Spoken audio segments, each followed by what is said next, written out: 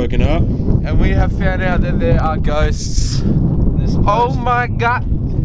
At some point. Yeah, I'll read it out. Probably up to that tree up there, it says, I think. Last time we came here, we saw a ghost like I can't read what that word says. No lie, we saw it near the tree that looks like a broccoli.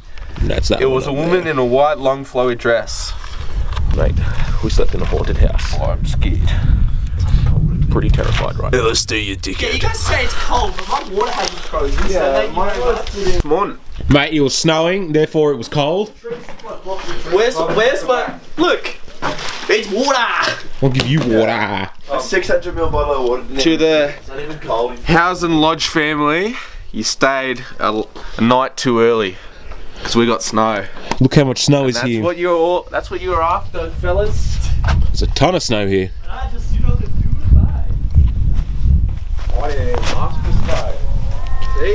If you don't ask, you get. You What get. parents always say. Is that what they actually say? so we have a loyal fan viewer from the channel. I've always watched it. It says, I loved it. it says Tom PT. Right, we're ghost hunting. I'm gonna go to this broccoli tree. Whoa, what's this? What's this? The hole. The wombat No hole. one else will see that.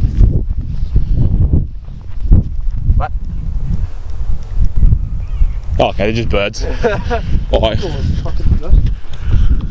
kind of thought we were going to die just then. It is a pretty scary looking tree.